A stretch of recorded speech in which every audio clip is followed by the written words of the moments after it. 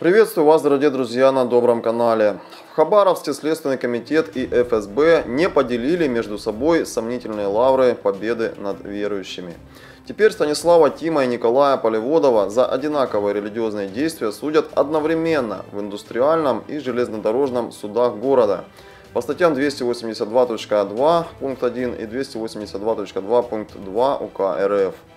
10 ноября 2019 года исполняется ровно год с тех пор, как более 50 жителей Хабаровска собрались в арендованном кафе на дружескую вечеринку. Эта встреча не была религиозным собранием. Люди планировали вместе пообщаться, насладиться угощениями и развлекательной программой. Вскоре после начала встречи в кафе ворвались несколько десятков бойцов ОМОН. За их спиной стояли следователи Следственного комитета. Эти события положили начало уголовному преследованию шестерых верующих. Последствием оказались Николай Полеводов, Станислав Тим, супруги Виталий и Татьяна Жук, Светлана Седова и 70-летняя Майя Карпуштина. Троих мужчин посадили в СИЗО, а женщин отправили под домашний арест. Один сейчас под подпиской о невыезде. С женщин взята подписка о невыезде. Всем шестерым вменяются различные части экстремистской 282 статьи Уголовного кодекса России. Экстремизмом следователи считают нереальное уголовное преступление, а веру в Бога и Иегову и встречи с единоверцами, в том числе дружеские вечеринки. Спустя полгода Хабаровская УФСБ со своей стороны тоже возбудила уголовное дело за веру в отношении 49-летнего Николая Полеводова и 51-летнего Станислава Тима. Из-за бездушного отношения представителей власти верующие и их семьи теперь вынуждены несправедливо страдать вдвойне. 51-летний Станислав Тим, бывший эксперт-криминалист, много лет проработавший в структуре МВД и наркоконтроля. За это время он удостоился наград и благодарностей. Ранее Станислав наблюдал изнутри, как работает правоохранительная система. Теперь же стал ее жертвой. У Станислава двое детей, один из которых сын инвалид с детства. Теперь из-за уголовного преследования у него самого пошатнулось здоровье. Обострились хронические заболевания. Избранная мера пресечения и запреты не позволяют ему приобрести предметы первой необходимости. Поскольку его жена не работает, им приходится сводить концы с концами. Все это очень сильно сказывается на психоэмоциональном состоянии Станислава, рассказал адвокат Артур Ганин, оказывающий помощь Станиславу Тиму. Жизнь 49-летнего электрика Николая Полеводова также резко изменилась, хотя пока он и на свободе, он провел 66 дней в СИЗО номер один по Хабаровскому краю, 201 день под домашним арестом. Николай серьезно переживает за своего маленького сына, жену, поскольку не знает, какой будет приговор. Сможет ли он обеспечивать семью, быть поддержкой и опорой для жены, воспитывать сына и участвовать в его жизни. В данный момент он не в состоянии в полной мере трудиться и зарабатывать на жизнь, рассказали друзья семьи. Уникальность ситуации Станислава Тима и Николая Полеводова в том, что они проходят обвиняемыми сразу по двум уголовным делам. Первое возбуждено на основе обвинения в организации деятельности запрещенной экстремистской организации, часть 1 статьи 282.2 УК РФ. Второе на основе обвинения в участии в ней, часть 2 статьи 282.2 УК РФ. Следователи не объединяют дела в единое производство, как это обычно случается. Значит, законопослушным россиянам грозит два уголовных наказания. Сейчас же они вынуждены ходить сразу на два судебных процесса в разные райсуды Хабаровска – индустриальный и железнодорожный. Изначально два уголовных дела расследовали разные следственные органы – Следственный комитет и ФСБ. Последняя усмотрела основания для объединения уголовного дела и для этого передала документы прокурору Хабаровска, но прокуратура отправила дело в СКР как есть. Главная причина таких решений – нежелание судов и прокуратуры вникнуть в суть дела. К сожалению, для судебной системы формализм выше ценностей и принципов уголовно-процессуального закона, полагает Артур Ганин. По словам Ганина, верующих очень сложно защищать, особенно Полеводова, у которого нет юридического образования. Это нарушение прав подсудимого на защиту, поскольку он не адвокат, ему трудно одновременно подготовиться к нескольким судам. Конечно, сама по себе ситуация является элементом давления. Во-первых, подсудимые видят, какой формализм присущ судебной системе. Во-вторых, если суд не хочет разбираться в очевидных вещах и встать на защиту их прав, возникает большой вопрос – насколько он вообще будет справедлив, делится Артур Ганин. В настоящее время Станислав Тим находится под домашним арестом.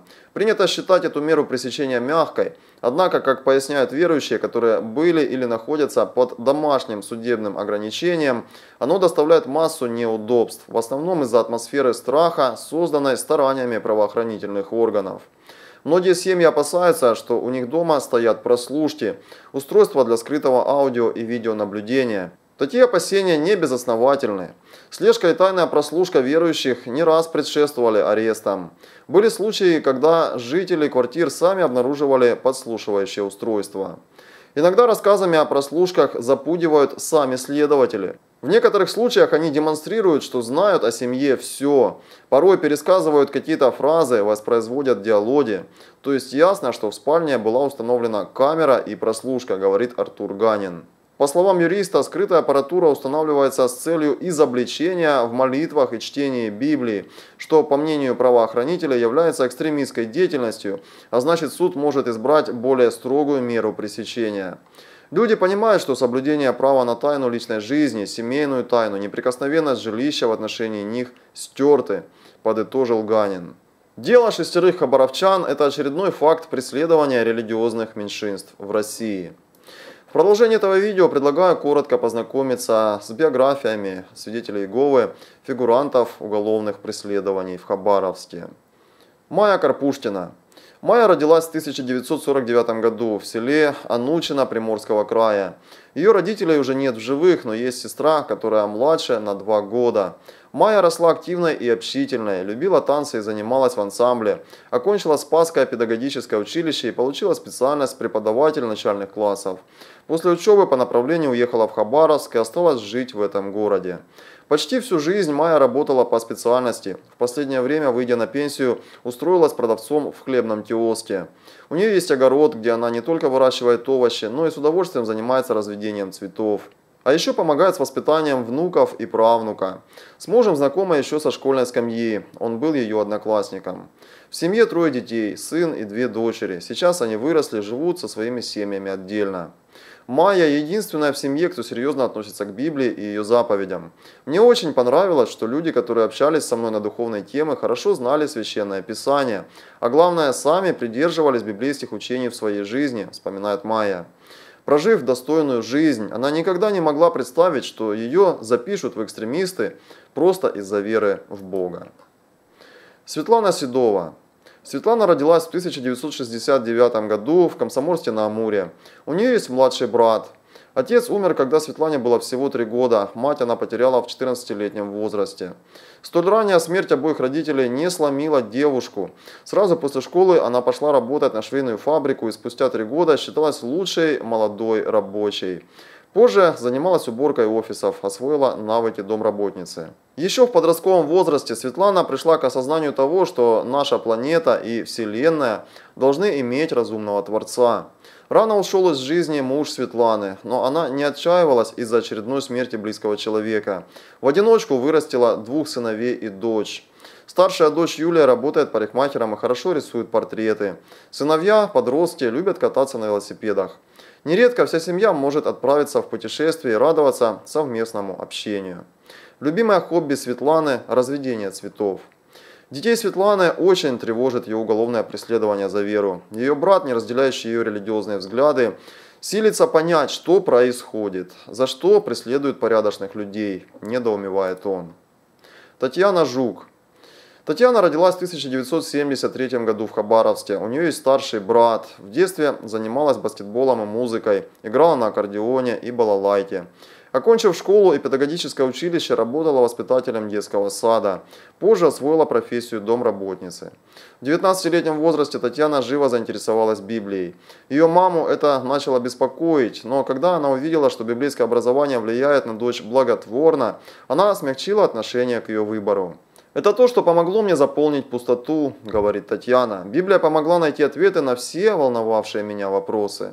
Всю жизнь Татьяна прожила в родном Хабаровске. Здесь же встретила будущего мужа Виталия, газоэлектросварщика по профессии. Супруги воспитали дочерей Дину и Полину. Обе они работают в сфере общественного питания. А Полина с отличием окончила технологический колледж. Вся семья любит проводить время на природе. Татьяна по-прежнему не представляет себя без музыки и самостоятельно осваивает гитару. Родные и близкие супругов Жук не могут понять, за что их преследуют и считают происходящее полным абсурдом. Виталий Жук. Виталий Жук родился в 1972 году в Хабаровске, но детство провел в селе Краснореченское, Хабаровский край. В семье было пять детей, из которых Виталий был третьим. С 17 лет и до самого ареста работал сварщиком, и во всех рабочих коллективах его всегда ценили за опыт и ответственность. Женат, имеет двух дочерей, как мы уже сказали. Когда Виталию было около 20 лет, он сильно заболел и попал в больницу. Вскоре после этого начал серьезно задумываться о смысле жизни. Духовные поиски привели его к изучению Библии, где он открыл для себя разумные ответы на вопросы. С тех пор служение Богу играет важную роль в жизни Виталия. Родственники Виталия знают его как доброго, скромного и отзывчивого человека. Они видят, что изучение Библии благотворно влияет на всю его семью и не могут понять, почему он находился за решеткой. Родственники и знакомые Виталия искренне надеются, что абсурдные обвинения в экстремизме будут с него сняты. Станислав Тим родился в Хабаровске в 1968 году. В детстве любил петь, играть в шахматы и шашки, участвовал в соревнованиях, имеет спортивные достижения. Получил высшее юридическое образование и много лет проработал экспертом-криминалистом в структурах МВД. Зарекомендовал себя как честный и ответственный работник, имеет многочисленные награды и благодарности.